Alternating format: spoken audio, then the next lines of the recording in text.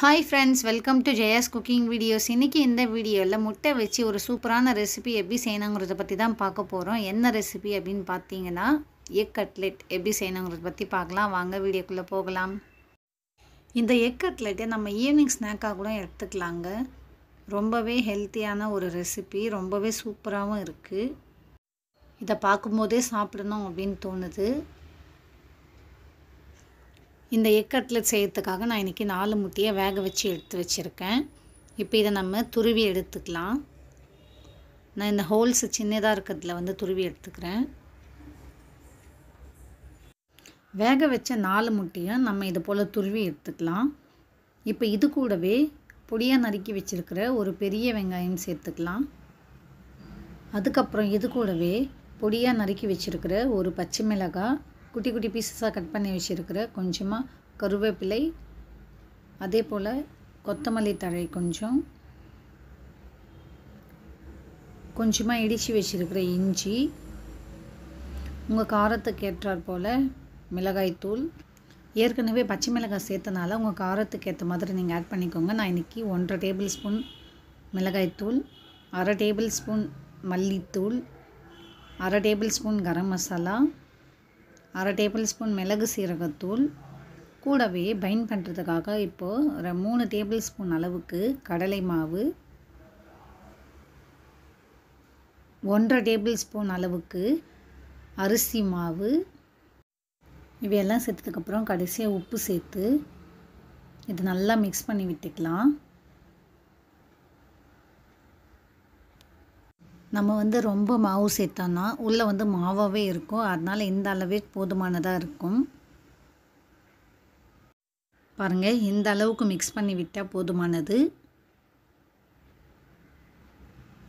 இப்போ இதை பைன் பண்ணுறதுக்காக நான் ஒரு முட்டையை எடுத்து உடச்சி ஊற்றிக்கிறேன் அதுக்கப்புறம் இது நல்லா மிக்ஸ் பண்ணி எடுத்துக்கலாம்.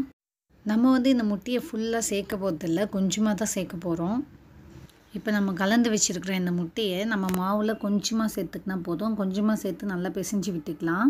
அதிகமாக சேர்க்க வேண்டிய அவசியம் இல்லை. உருண்டை பிடிக்கிற அளவுக்கு வந்தால் போதும். எதுக்காக முட்டையை இதில் மிக்ஸ் பண்ணுறோம் அப்படின்னா அப்போ தான் வந்து நம்ம எண்ணெயில் பொரிக்கும் போது மாவெல்லாம் தனித்தனியாக பிரிஞ்சு வராமல் இருக்கும். அதுக்காக தான் நம்ம முட்டை ஆட் பண்ணுறோம் இந்த அளவுக்கு கலந்து விட்டுக்கிட்டால் போதும். நான் வந்து இப்போ டீப் ஃப்ரை பண்ண போதில் ஷாலோ ஃப்ரை தான் பண்ண போகிறேன் அதுக்காக ஒரு பேனில் கொஞ்சமாக எண்ணெயை சேர்த்துக்கலாம். எண்ணெய் நல்லா காஞ்சதுக்கப்புறமா நம்ம பிசைஞ்சு வச்சுருக்கிற மாவுலேருந்து ஒரு உருண்டை அளவுக்கு மாவு எடுத்து உருண்டை பிடிச்சிக்கலாம். உருண்டை பிடிச்சதுக்கப்புறம் உள்ளங்கையில் வச்சு நம்ம வடைக்கு தட்டுற மாதிரி தட்டி எடுத்துக்கலாம். சைட்லெல்லாம் கொஞ்சம் அழுத்தி விட்டுக்கலாம். இல்லாட்டி சைடில் இருக்கக்கூடிய அந்த பீசஸ் வந்து சீக்கிரம் கருகிடும். அதுக்காக தான் அட்ஜஸ்ட் பண்ணிக்கலாம். இப்போ இந்த அளவுக்கு தட்டி எடுத்துக்கிட்டால் போதும். இதே போல் நம்மக்கிட்ட இருக்கிற எல்லா மாவையும் ரவுண்ட் ஷேப்பில் தட்டி எடுத்து வச்சுக்கலாம்.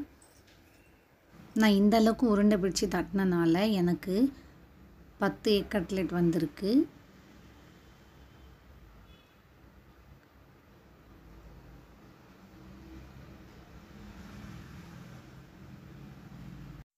இப்போ நம்ம இதை எண்ணெயில் போட்டு பொரிச்சு எடுத்துடலாம்.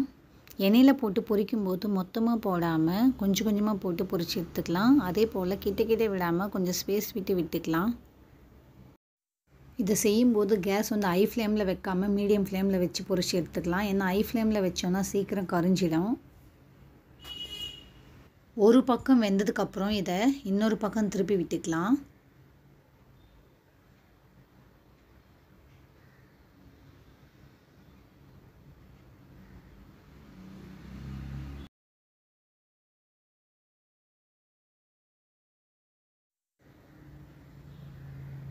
இப்போ ரெண்டு பக்கமும் நல்லா வெந்துருச்சு பாருங்கள் பார்க்கவே ரொம்ப சூப்பராக இருக்குது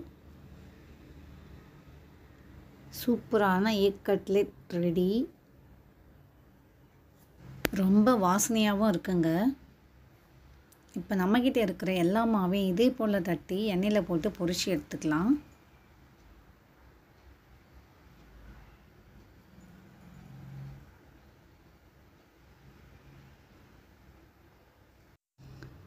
ஒரு பக்கம் வெந்ததுக்கப்புறம் நம்ம இதை இன்னொரு பக்கம் திருப்பி விட்டுக்கலாம்.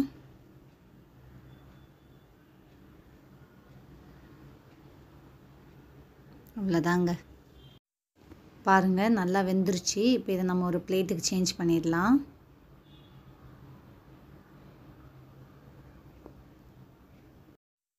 இதை பார்க்கும்போதே இப்போவே சாப்பிடணும்னு தோணுது. இந்த ரெசிபி உங்களுக்கு பிடிச்சதுன்னா மறக்காமல் என்னோடய சேனலை சப்ஸ்கிரைப் பண்ணுங்கள் தேங்க்யூ ஃபார் வாட்சிங் திஸ் வீடியோ நன்றி